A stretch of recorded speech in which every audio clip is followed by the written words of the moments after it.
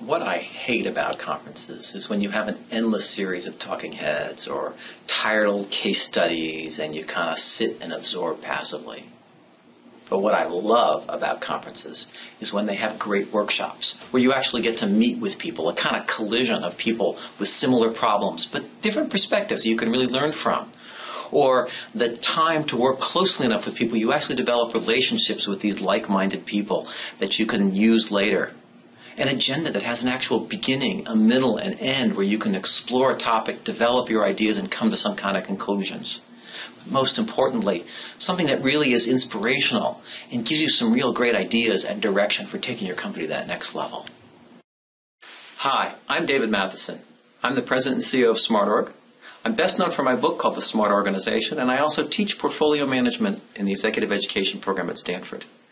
And I'm thrilled to have the opportunity to chair the upcoming lab on reinventing the product portfolio by the PDMA. It's a great opportunity to explore this really important topic. I'm going to be joined by several thought leaders, people who have seen this movie many times, or perhaps even starred in it, and understand these issues very deeply and help provide a broad perspective. They'll be helping me co facilitate this and make a great experience. They include Stan Chapsky of SanDisk, Ward Peterson of Inspire Pharmaceuticals, Gerald Powell of Dow AgroScience, and Karen Alice of PlanView. So many different angles of great experience coming to bear. We're going to have several exciting sessions designed to be highly interactive and help you understand and explore these issues and learn from each other.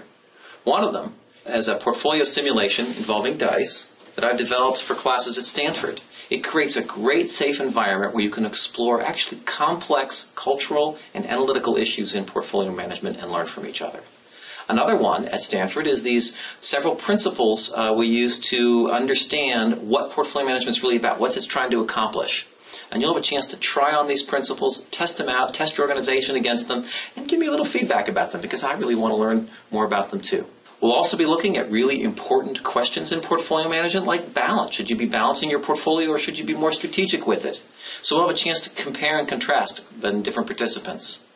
And finally, we'll be assessing the state of portfolio management as a practice. This has been going on for a while.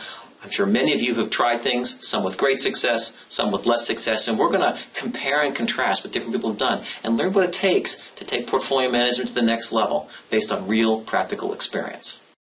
It's my intention to make this workshop a fabulous experience, to make it the kind of conference I would like to come to, the kind of conference you would love to come to.